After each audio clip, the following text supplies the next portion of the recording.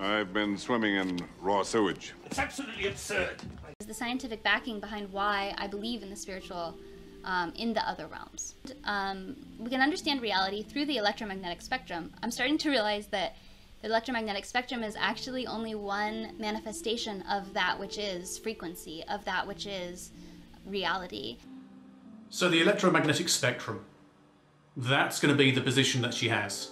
And sound waves and gravitational waves, and there are infinite other categorizations of waves as they um, as they manifest in different dimensional realities and different densities. I still haven't figured that whole thing out yet, but let's just stick to our electromagnetic spectrum as a representation of all reality because I think that, that is a good place to start. So yes, it's a good representation, according to her.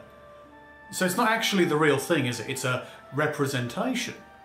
So the electromagnetic spectrum is a frequency range that is um, of, of waves that be, that also contain photons and they can travel through space and infinitely and we get information from space because we see light or other electromagnetic radiation. We use electromagnetic radiation in our technology. All of our cell phones, all of our Wi-Fi, all of our Bluetooth, all of our X-rays, all of our microwave radiation um, technologies, walkie-talkies, radio, all of that is electromagnetic frequency. This gal is basically saying there's frequencies and waves and things and yeah, therefore we can assume that magic.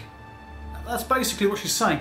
Hey, I've got this thing that's symbolic of something I believe in, therefore science. And then it's like, well, this goes even further if we take it to the idea that there's lots of different uh, layers of reality and therefore there can be extra dimensions, and that's the shit she believes in. So, science. Our electrical signals are sent through our bodies, and we are living in an electromagnetic soup right now, um, especially with all the artificially generated electromagnetic um, technologies that are saturating our, our bodies, the, the satellites, all of 5G, 4G, 3G, 2G, are all electromagnetic realities and electromagnetic frequencies that interact with our physical body and our physical our our, our electromagnetic and our bioelectric realities. Basically, we have a lot of shit around us, and that's it. This doesn't link in at all to anything you believe. We have electromagnetic spectrum. We have uh, bioelectrical uh, signals going through the body and there are all sorts of other things which are factually known to us, are confirmed.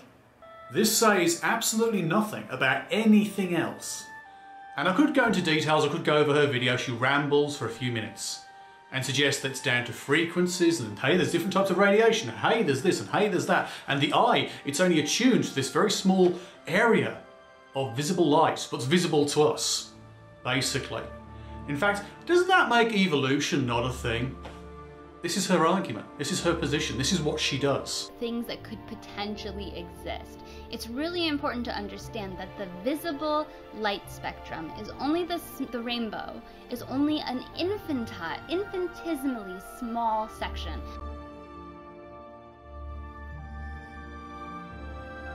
just the smallest little section. Our eyeballs are these insanely adapted, you know, technologies that are really amazing. Like if you look at eyeballs, it's like one of the main arguments against um, evolution because it's like, how the fuck is an eyeball? What the fuck? And it proves nothing. I mean, it doesn't disprove evolution. It doesn't disprove the idea of um, anything really. It doesn't actually prove the other dimensions.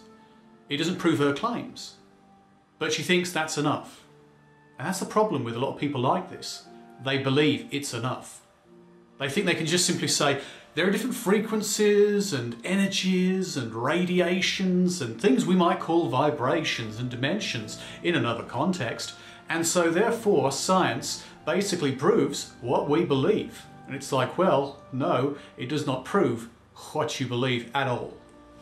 And expand your mind to the fact that we really don't know.